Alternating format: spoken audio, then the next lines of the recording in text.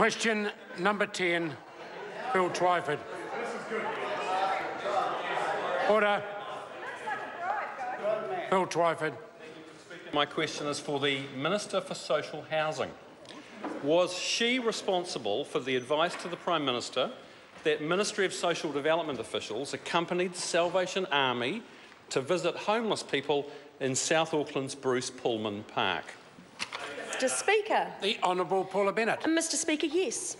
I told the Prime Minister that MSD was working in conjunction with NGOs, including the Salvation Army, to reach out to homeless people to see if they could offer assistance. I was not sufficiently clear that MSD were coordinating the activities and making staff available after hours to deal with any issues as they arose. He was 100% correct that the Salvation Army reported to MSD after the first night that of all the people they engaged, none wanted MSD's help. Supplementary.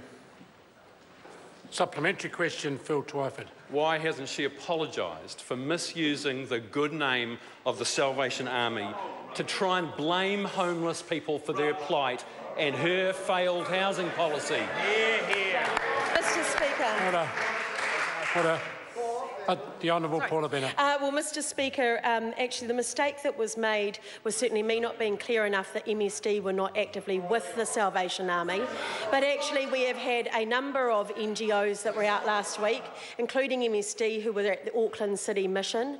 And the purpose of these visits was to engage homeless people as have been identified and make sure that they were connected to the support that they can get. What we did find from those visits was that most people didn't actually want to engage. Order.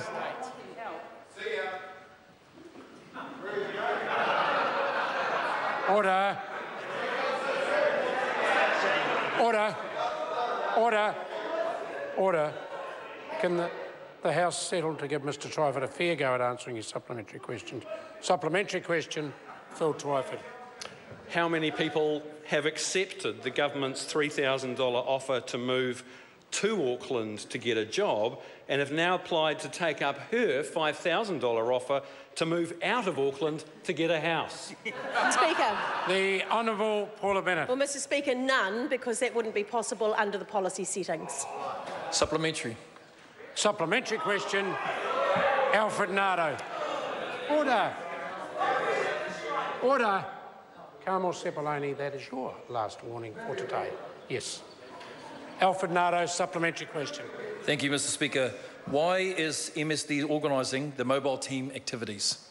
Mr Speaker. The Honourable Paula well, Bennett. Mr Speaker, I asked well, Mr Speaker, I asked MSD to coordinate with experienced NGOs to talk with homeless people to gauge their social housing needs. Also to look at if we can give them assistance with food grants, to make sure that they are on the social housing register, if they were there, if they had the right um, priority rating. Mr Speaker, um, this is, has come about because we saw the need that was there and wanted to actively engage with them. Supplementary. Order. Supplementary question, Alfred Ngaro. Thank you, Mr Speaker. What else is the government doing to help vulnerable people with housing needs? Well, Mr Speaker, The Honourable Paula Bennett. Mr Speaker, we spend around $34 million every week to subsidise more than 470,000 New Zealanders in social housing, private rentals and even those on low income with some of their mortgage payments. That is around $2 billion every year, Mr Speaker, up 53% from 1.3 billion when we took office. Order, order. If you want further warnings dished out, I can do that. But the Minister's been asked a question. It's an order, order question, so I want to hear the answer. The Honourable Paula Bennett. Speaker.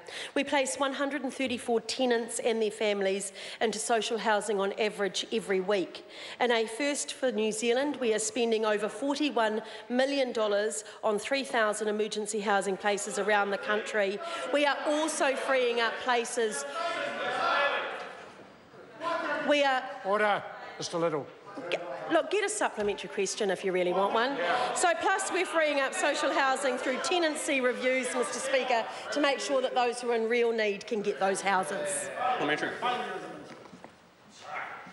Supplementary question, Phil Twyford. how can she maintain her get out of town announcement wasn't a media driven stunt when she said, and I quote, in the last few days, I think we just, certainly from the media putting the attention on it, and you're seeing people that are living in those sort of circumstances, I just want to do whatever we can, and I think this is a way for me to get the message out to them that there is help available.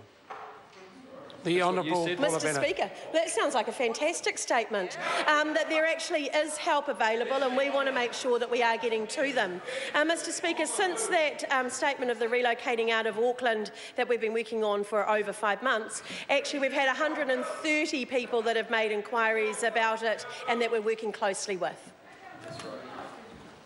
Supplementary question, Phil Twyford. Will she admit that solving homelessness is just not her priority, given that her get out of town policy was clearly a last minute gimmick, and she made up a story involving the Salvation Army to blame homeless people for their own plight? Mr Speaker, Order. Yeah. Order. Well, the I- Honourable Paula Bennett. Well, Mr Speaker, I refute both of those um, statements. Actually, we're working with the Salvation Army, who do a great job. Um, actually, addressing housing needs for vulnerable people in New Zealand is a priority, and the member can get up and prostrate all he likes, but actually, we're going to do something. Entry. Supplementary question, Phil Twyford. Will she apologise to the Salvation Army? Mr The Speaker, Honourable Paula Bennett. I have nothing to apologise for. Order. Order. Question. Order. Order. Mr English. Order. Order. Mr Twyford. I'm calling for order from both front benches. Maureen Pugh, question number 11.